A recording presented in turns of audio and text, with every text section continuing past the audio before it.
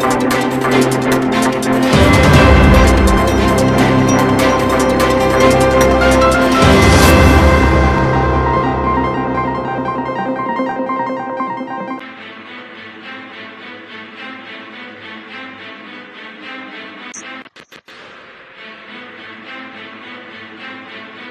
UP विधानसभा चुनाव को लेकर चल रही खींचतान के दौरान, चुनावी सत्ता के इस महासंग्राम के दौरान यूपी की दो तो बड़ी पार्टियों में से सपा पार्टी के मुखिया अखिलेश यादव विपक्ष पर वार करते हुए अब की बार 300 सीट पार का दम भरते हुए जनता को संबोधित कर रहे हैं।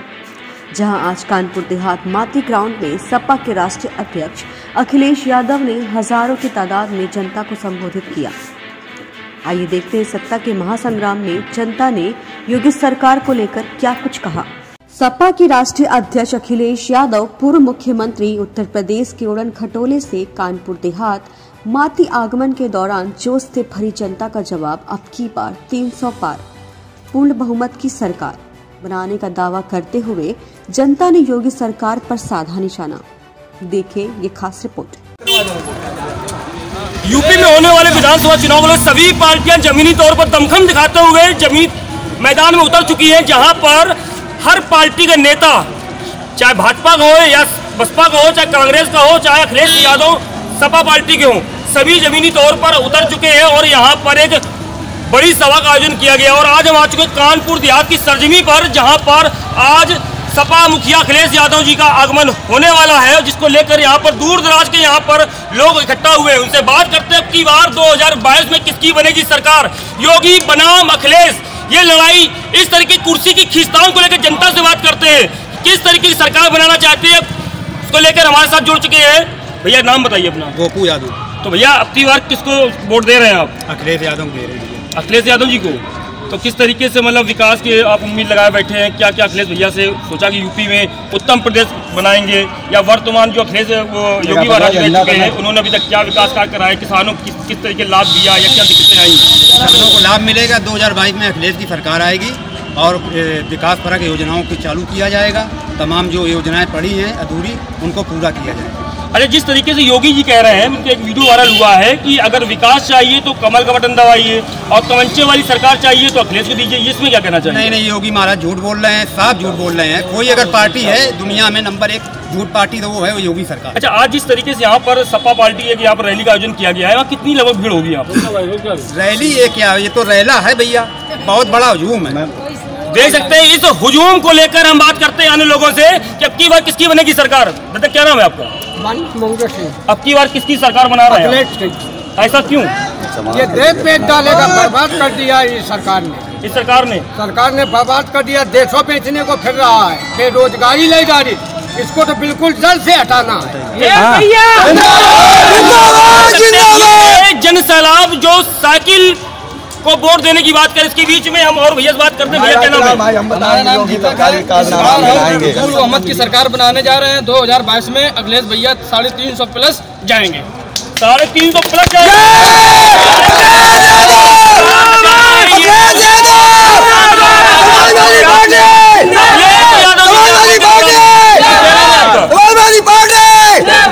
जख्मी नाम है जी सरकार को क्या कहना चाहेंगे किस तरीके सरकार बना रहे हैं बाबा के करनी और कथनी में झूठ का मुद्दा है। उनको हम गोरखपुर मठ में भेजने के काम करेंगे।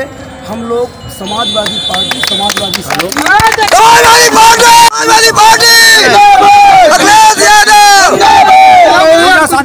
जनता इतना जोश में है इतना जोश में है अरे रहला बाबा को घंटा देकर गोरखपुर भेज देंगे घंटी बजाएँगे घंटा के अलावा उनके पास कुछ नहीं है। भाजपा तो कह रही है कि फिर वही सरकार अरे जा रही भाजपा के पास है क्या? झूठ मुद्दे इनकाउंटर का काम इनकाउंटर करना ठोक देना ये उनके पास काम है। विकास तो इनका जेल है।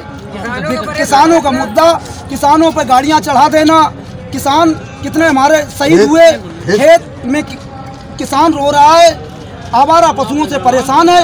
हमारा पशु बात कर रहे थे योगी जी कह रहे हैं हमने जाने कितने कैंपेन गौशाला बनवा दिए हैं। योगी जी के घर गोरखपुर आवारा भेजे घंटा बजाएँगे वहीं योगी जी के गोरखपुर में सारे पशुओं को भेजा जाएगा ऐसा ही भाई साहब कहना है और ये पूर्ण मोहम्मद सरकार बनाने का सपना देख रहे हैं सपा पार्टी को लेकर।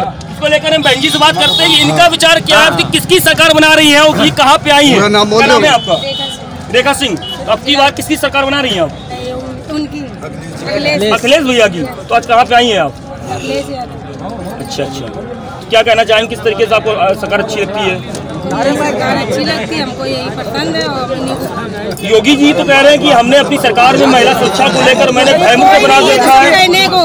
माताएँ बहनें सुरक्षित हैं। कहने के लिए कोई दिखावा नहीं करना चाहिए दिखावा तो अब दिखावा करते रहे। अब हुआ है। देख सकते हैं ये जन सैलाब देख सकते हैं मैं कैमरा साथी कहना चाहूँ ये भीड़ का नज़ारा दिखाएँ जहाँ पर इतने यहाँ पर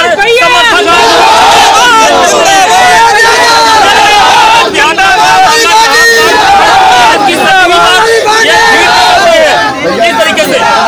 भैया क्या कहना चाहेंगे आप? भैया हमारा गाँव भारत गाँव है। वहाँ पे कोई भी मुआवजा नहीं मिला है। ये बीजेपी सरकार हमेशा झूठ बोलती है। झूठ बोलने की सरकार है। की बार जबकि बोल मैंने अखिलेश अखिलेश भैया को जिंदाबाद बनाएँगे